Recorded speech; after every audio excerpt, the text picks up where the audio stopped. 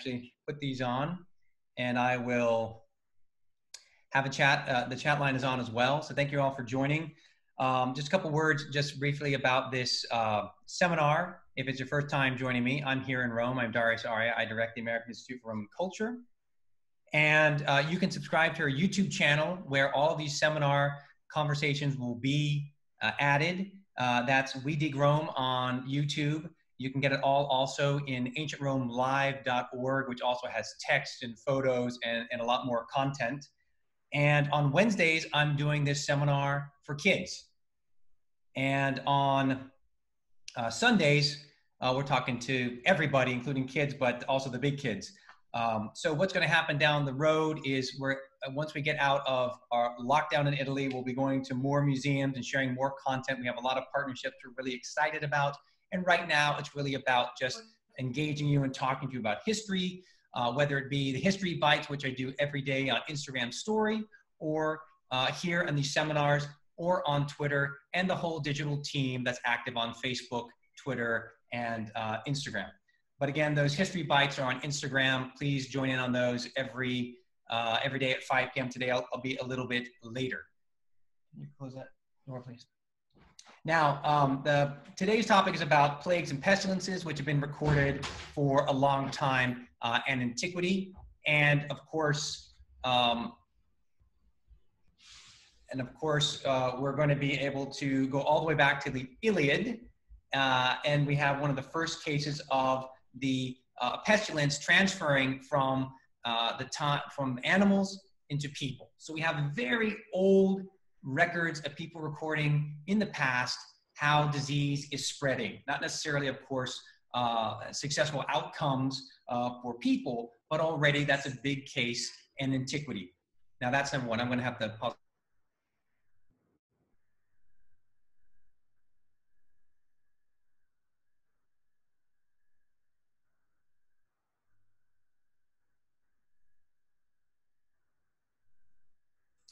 All right, so as long as everyone can hear me, I'd love to hear a yes. Make sure we're all on the same page, that I'm not just talking to myself. Great, all right. Now, yes. Um, all right, yes. great. But let's keep, uh, let's keep yes. uh, the audio off. Otherwise, it's going to be too crazy. All right, thank you very much. Really appreciate that. That's really exciting uh, that you're all here. So, we go from the Iliad, we can go to Thucydides, uh, in the Peloponnesian War in the 5th century, we have a great example of a discussion, an analysis of the plague that breaks out.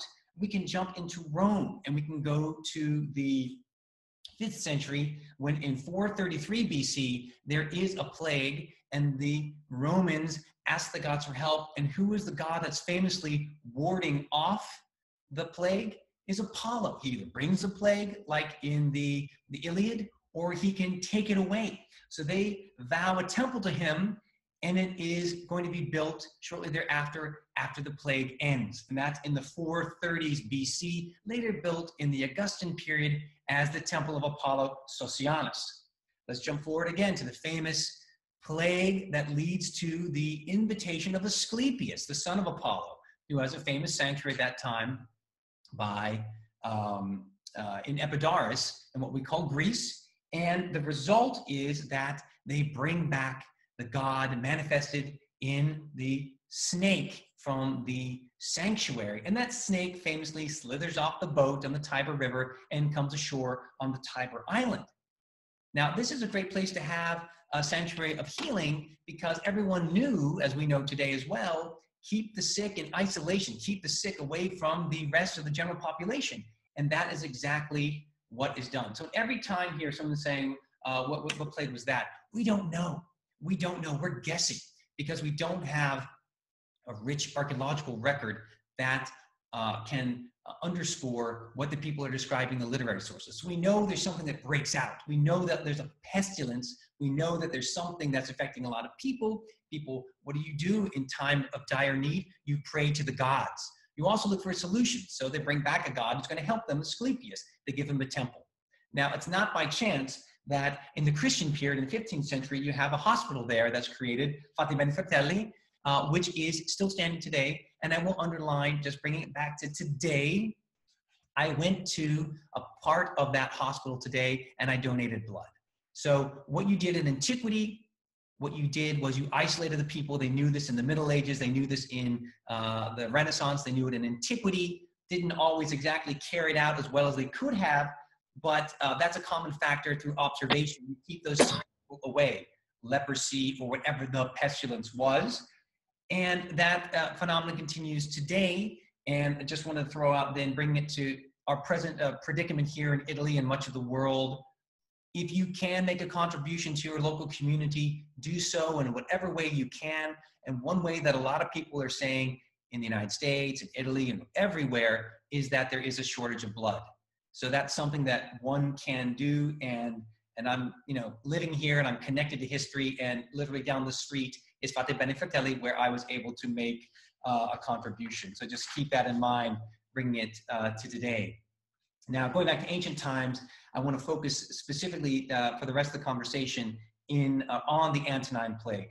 And why do we call it the Antonine Plague? Is because it's breaking out in the time of one of the Antonine rulers, who is uh, Marcus Aurelius, from the 160s to 180. Let's just think for a second. Let's give a little background so we know a lot about the archaeology and the archaeology of the second century AD. And we know that aside from the, the forum spaces, the temples, the marble, the brick face uh, constructions, the palace of the emperors, the garden estates surrounding the city, Rome in particular, this great mega metropolis that we're so proud of, I'm so excited about, um, it was overcrowded. It was full of urban poor, you know, and we don't have them writing down their predicaments. We get some passages from authors like Martial and Juvenal. We know that many of them were sickly and malnourished. We know that from uh, some of the analysis that's picking up in uh, archaeological studies, the DNA analysis and so forth. We're getting a better idea about the actual condition of people. We know they had hardships. We know that the life expectancy was maybe, if we're lucky, 45, 50 years old. We know that there's a huge infant mortality rate we knew the sanitary realities weren't so great that most people were living in apartment buildings, going to the bathroom in chamber pots and throwing them out into the street. So you have that kind of a reality. We have baths, hot, packed with people, ill, not ill. Uh, and we actually have a famous passage from this gentleman, Marcus Aurelius, in his Meditations. One of the passages I want to read to you about the baths is he says, What do the baths bring to your mind? Oil, sweat, dirt, greasy water, and everything that is disgusting. Such then is life in all its parts, and such is every material thing in it. So we know what the reality of the baths are. We know that it was teeming with all kinds of potential uh, diseases. We know that the Roman cities were big and people were coming from all over the empire to Rome. Of course, Rome itself is always malarial. Rome itself is being flooded all the time that leads to pestilence, that leads to famine, that leads to hardships. Rome in antiquity always lived with malaria. And Rome was connected to the rest of the empire. So you had the great road systems, you had uh, the sea trade routes, and you had this opportunity then for a back and forth flow of ideas, people, uh, goods, also disease. And I don't want to give the Romans too much of a hard time because let's say that the Antonine Plague is the first big plague, really, that's on the historical record that we can identify with. We get a sense of how big it was. It didn't happen before to that extent. So you can look at recent scholarship. They were getting lucky. Something was going to happen to them sooner or later. They were just buying their time. It was a ticking time bomb. So, different ways in which we can look at ancient Rome. And the same way we can look at ourselves as well. That we had this horrible plague in 1918, the Spanish flu. And then when's the next pandemic? So, have we been biding our time? Have we been careless? Have we not prepared enough? Have we not uh, been in tune to the realities of one day this is going to happen again? Meantime, we have this great airline traffic and cheap flights, and people are traveling all over the place and sharing images and being excited about traveling and discovering the world. The world is a smaller place, We're all connected. That's kind of the reality that happens in the second century AD, is that it is easy to go throughout the Mediterranean. And it is easy for then ultimately disease to spread, to spread thoroughly through the empire and to spread very.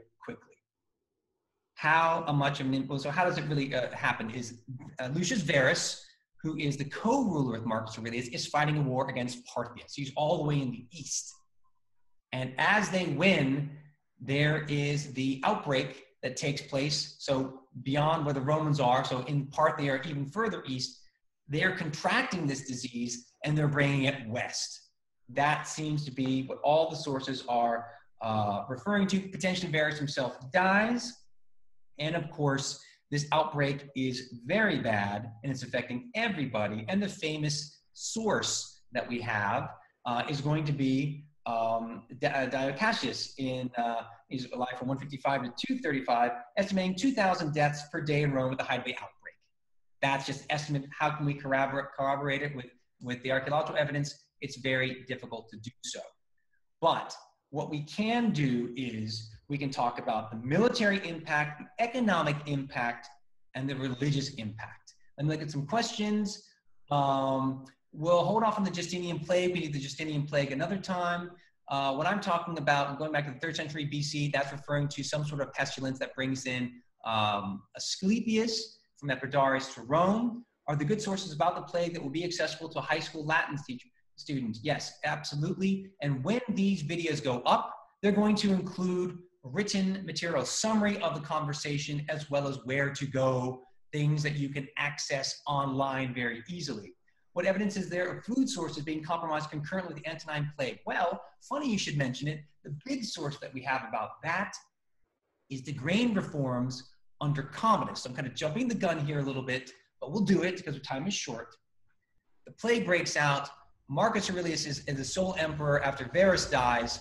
He's fighting against the Germans. He's having an awful time, shortage of troops and so forth. He has to hire a lot of people, has to conscript a lot of uh, you know Germans, uh, some of the provinces themselves, even gladiators coming out of slavery. These are dire times, and the result ultimately is he's going to adopt Commodus as his co-ruler in his last years of his reign. Marcus Aurelius dies. Commodus is taking over in, in 180, and Commodus has to deal with the fallout. People are hoarding grain. He's got to ensure that people don't starve. And he has to have a firm grip on how, kind of reform of the whole grain system, how grain is coming to Rome and the rest of the empire. Who's stockpiling? We don't want to have the prices go sky high and so forth. So that's kind of answering what evidence is there of food sources being compromised? Grain is the fundamental food source. It seems that the aqueducts had malfunctioned, malaria would have been worse. Yes, that is absolutely correct. The aqueducts were in use all through antiquity, all the way into late antiquity.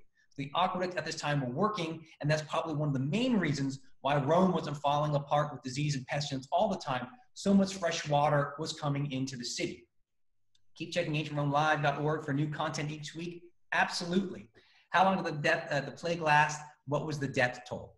So we're always focusing today on the Antonine plague.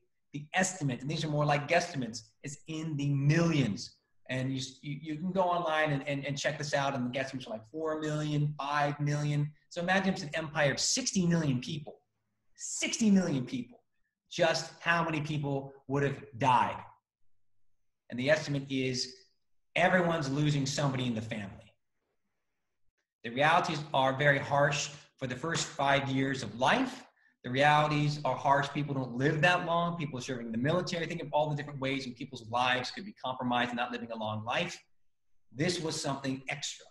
And who do we turn to? Who do we turn to? We're going to turn to um, Galen. And Galen is the, call him a rock star physician who's alive at the time. He's from uh, and he makes his way to Rome and he's self funded and he uh, becomes ultimately for his good work his astute work he becomes the uh, emperor's uh, own personal physician. So he's a he's a person who um, is going to be able to give us lots of information. But again what's the reality of rome at the time? There's a lot of easy international travel. Uh, we have uh, assessments of the baths lots of great scholarship on that, how dirty they actually were. There's no chlorine. A lot of water was sitting there forever and it's scummy and greasy, as Marcus Aurelius himself says. There's a lot of tapeworm, a lot of lice, not so clean. Um, and, and ultimately, this is the first you know, pandemic that you have recorded uh, in antiquity. And possibly it flares up again and is recognized as being the plague of Cyprian in 249 and 262. So this is something that seems to be recurring. What is the disease in and of itself? What is it? Yeah, a huge petri dish is a great way to describe the crowded conditions of Rome. And of course, Rome was connected to other megacities at the time, the empire. It's going to spread like wildfire. There were public fountains. There were uh, uh, flowing water all throughout the city of Rome in particular, but everyone doesn't have in their house. You're going to communal areas, you're drawing the water and so forth. Uh, so there are a lot of factors and a lot of ways in which this disease is spreading very quickly. But a neat thing that our friend Galen says is once you got it, you were immune. And he describes the conditions that people got.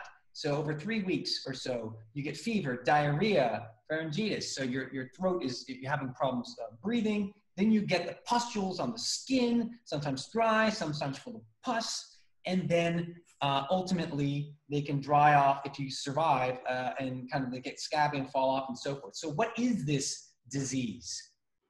Is it smallpox?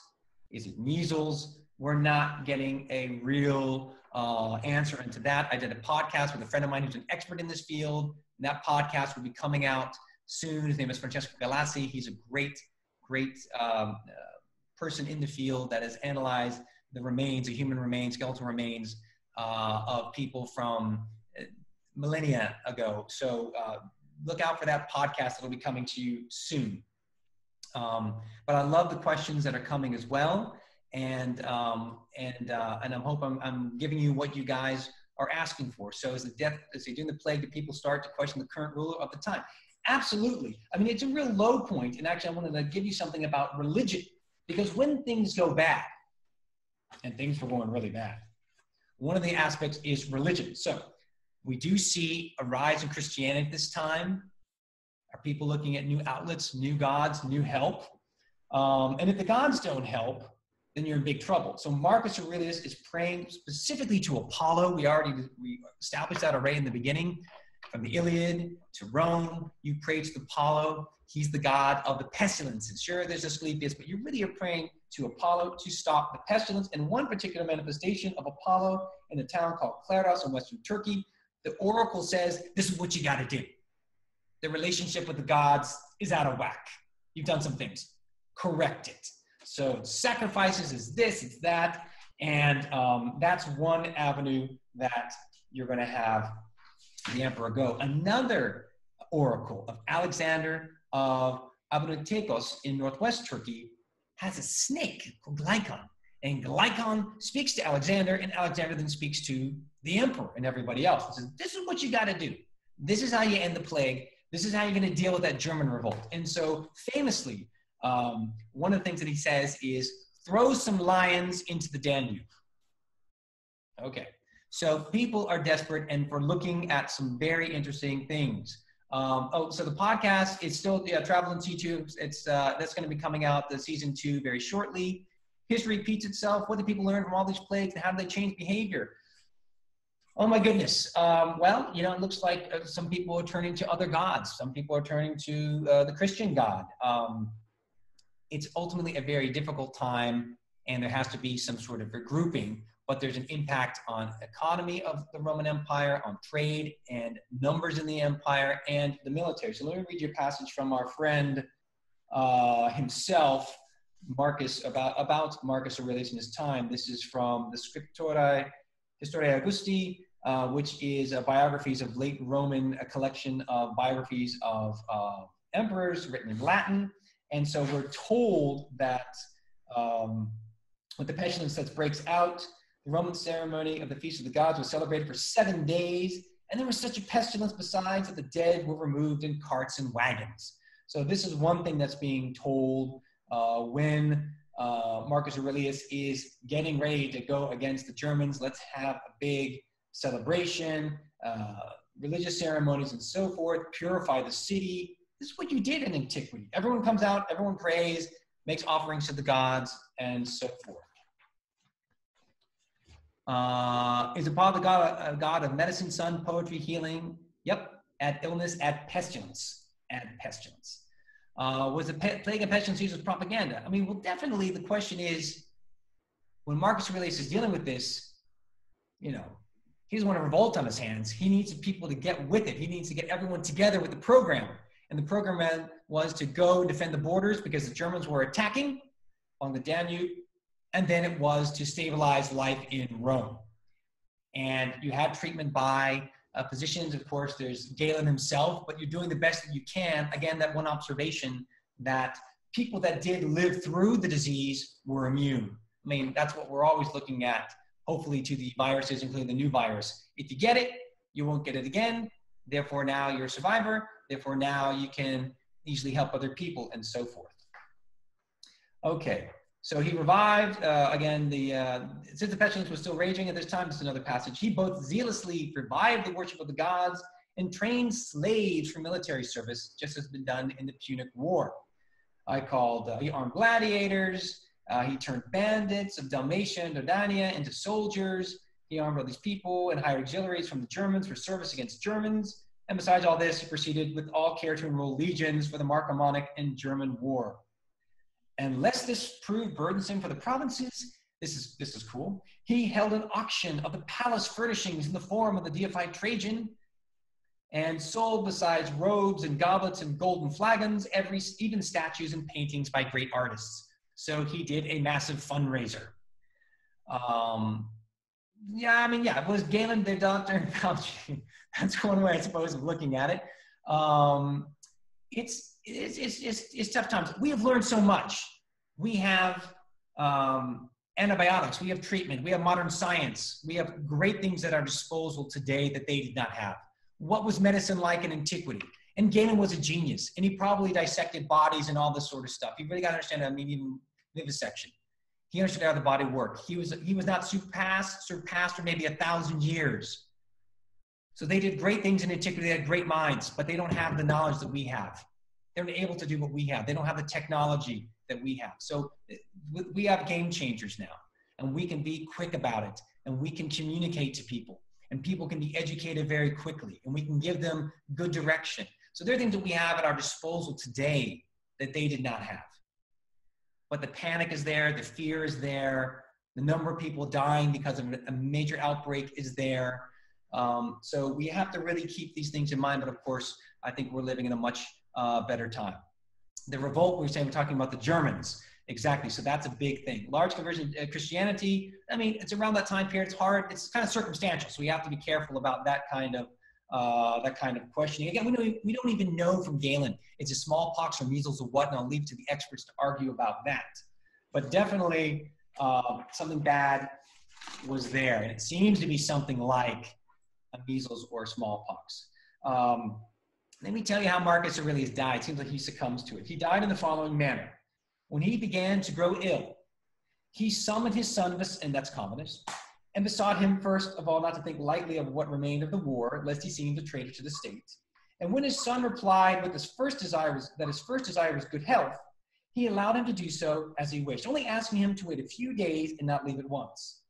Then, being eager to die, he refrained from eating or drinking and so aggravated the disease. On the sixth day, he summoned his friends, and with derision for all human affairs and scorn for death, he said to them, Why do you weep for me instead of thinking about the pestilence and about death, which is the common lot of us all? So that is Marcus Aurelius. That's a quote. He's the one who has the meditations. He's a stoic philosopher, ruler, seems to be a decent guy and he's the one who has to deal with this outbreak. Commodus has to pick up the slack. Commodus does deal with reforming uh, the grain um, influx into Rome, punishing people that are hoarding it. So he does a lot of good things in reforming and so forth. This is also Commodus who ultimately likes to dress like a gladiator. This is Commodus who, in the movie Gladiator, was killed by uh, another gladiator and so forth. Not true. Uh, I mean, he is killed by a gladiator, but not in the way in which uh, we see in the movie. It's a phenomenal movie. I think it does give you a sense of some of the visceral uh, realities, gritty uh, harshness of the Roman world. We don't really talk about pestilence per se, but everyone we can see in antiquity was dealing with pestilence on and off. How did people bathe in Rome? Well, you could go to the baths, and that was something that was offered free to you, but potentially you could also get sick. But again, if these baths were just, you know, laboratories of, of, of, pestilence and, and plague, how come this wasn't happening all the time? So there had to be some decent benefits of that system, of the uh, Roman baths, the aqueducts, the fountains, the water flow, the cleaning of the cities. Otherwise, people would be dying left and right. But this is like maybe another perfect storm of what it was in antiquity. It happened and we recorded and it was devastating. Frequency was possibly daily. Absolutely. Absolutely. Um, and it was a part of life and it was a part of uh, being able to socialize with your friends and work out and have a bite to eat and get a rub down if you could afford it and so forth. Uh, any assassination attempts during this time uh, due to the plague or rebellions of the sort? Yeah, the big one that we've been talking about is the revolt in Germany. That's the one that's going to occupy Marcus Aurelius until his death. Is there any speculation on the hoarding grain was linked to plague outbreaks, which might, etc.? So, um, uh, which might uh, point to a, a, rodent source or plague. I don't think there's so much an issue of there not being enough grain. It's simply that people start to hoard it. People keep it for themselves. And the state says, no, we are guaranteeing this. We don't want the price to spike. So think about like, like kind of like the stock market or something like that. We don't want any price gouging. Like today, I mean, you don't want any price gouging for the, you are, um, you are isolating yourselves from other people you're going to spend time at home with your family. You're not going to associate with other people. That's what we're doing today. That's what we're encouraged to do. And you need to have food and the basic things to stay alive for maybe weeks. So we don't want people running and buying out the whole grocery store. Then the state has to say, hey, we're going to make sure everyone has grain. When you video tours apartment blocks, it seems clear that people did not have kitchens. No, a lot of people actually right. They did have kitchens, but more often than not, if you couldn't afford, if you're just renting a, a, a loft space above your shop, you went out to eat and you went to the the, the bars, you know, which is a prosciutto sandwich, which is uh, a drink, which is fruit or whatnot. But absolutely. And when we do look at the kitchens in the ancient Roman world, strangely enough for us, there's one central drain and it's for the kitchen work and it's also oftentimes the toilet. So here you're putting, wait a minute, what about washing your hands? You know, what about this? You know, so the kids talk, we did talk about the uh, soap and how the Romans didn't really use soap so much as they used um, olive oil uh, so a lot of things that you can get out of the kids seminar and the question and answer from last Wednesday. Um, well, it's, I mean, look, no, nobody was really self-isolating per se. It just kind of went through the population. I mean, you know, that's, that's the realities of, of times in uh, antiquity, unfortunately.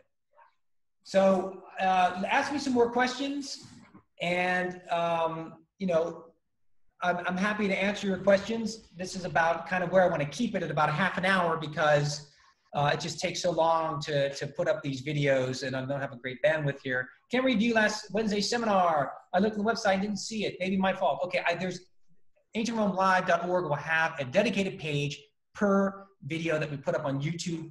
Uh, there, Warren, thank you so much, man. Uh, and he's our digital manager. He's put it up right there for you, but it's going to have a devoted page on Ancient Rome Live. Go to that video right now on YouTube, watch it, give us your feedback. We'd love to hear from you. Uh, we love so much that we're having these great conversations. I love the questions. It's absolutely wonderful. We have 113 people online at the moment, which is great. And it's, it's absolutely wonderful to, to speak with all of you, to have your interest, to see where you're dialing in from, not trying to make it, don't want this to be boring. We don't want this to be slow. We don't want this to be just a pre-recorded thing. We want to do stuff live like this. We really appreciate that you guys are so interested. We thought ultimately that the Antonine Plague was very timely. Um, I do want to bring you through at some point to the, the, the, the, new discoveries in the Roman Forum. I want to talk about the lives of Augustus, because this is a guy that has multiple lives. Maybe for next week we'll do that. We'll come back later on to the Justinian Plague and things like that. But um, please do share the uh, short videos that we have. We have 100, 150 of them or so that are on. Hey there in Chicago, thank you so much. And all you guys as well, stay safe. Let me know where else you're from because I really appreciate hearing where you are. We're on Twitter, Periscope, Instagram, and, and so forth. And we really, really appreciate Thank you guys so much in Ann Arbor, in Dallas, everyone. You know, I grew up in the States as well, so I'm, I'm there all the time. I want you guys also to take good care of yourself. Philly, in Atlanta, in the UK, And I love the analogies between then and now. So important. I think, hey there in Miami Beach, Cincinnati, Canada. So thank you. Baton Rouge, New Jersey. Thank you guys. Thank you so much. So this will be up very shortly. Cheers in Poland. How you doing there? San Francisco, St. Louis. Thank you guys so much. Have a good one. Again, you can go to our YouTube channel. You can go to h1live.org and you can follow us in, uh, you can follow us uh, on uh, at Save Rome on Twitter, Instagram, and also you can follow us on Facebook. You guys take care. Enjoy the rest of your weekend.